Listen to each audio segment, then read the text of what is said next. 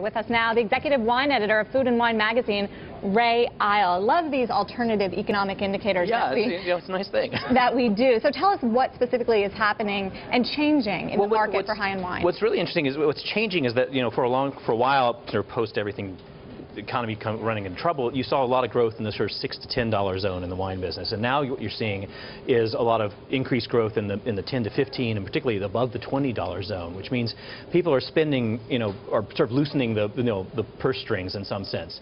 People always drink, regardless of whether there's a you know, recession or whatever the economy is doing, they're going to drink. But they, they adjust the, what they're going to spend based on how the economy is doing. So you're looking at a little more luxury spending, a little more people going out on a limb with that. What are the numbers like? The numbers, are, you know, it, growth in the 10 to 20 segment is about 8.2% over, you know, over the past year. Um, 20 plus segment, um, 17%, up 17%. Um, you know, 15% by value.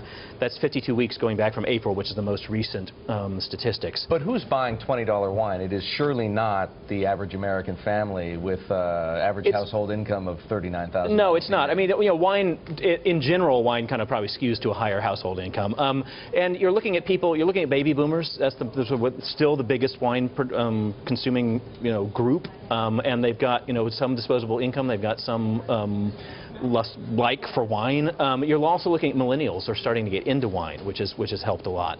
Um, and you know, the the biggest category in terms of total volume is still the sort of six buck zone. The top five brands in the in the country are in that zone, and they're all you know all the top five brands are either owned by Gallo or Constellation. Um, you know, big big companies, but you're still seeing you know growth in that, you know, Cupcake, for instance, in the 13.99 zone is a huge um, success story. Um, they've done really well over the past few years.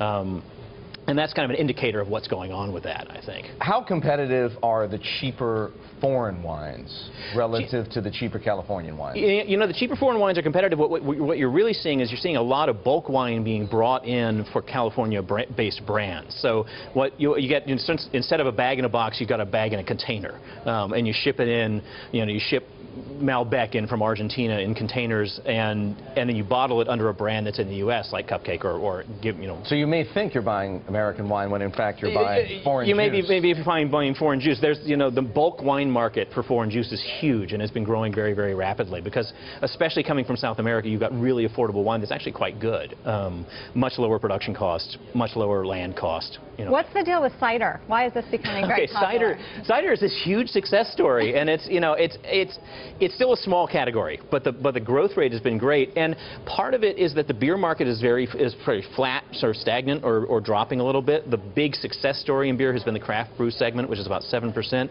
Cider is up, you know, it's it's a tiny percentage of the beer market, but it's um, it's been growing. You know, it increased 62 percent last year, which is um, and it, and it's going faster and faster. And it seems to be aimed.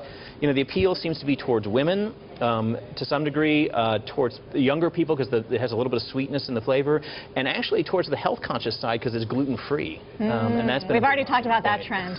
yeah, Very hot so, right now.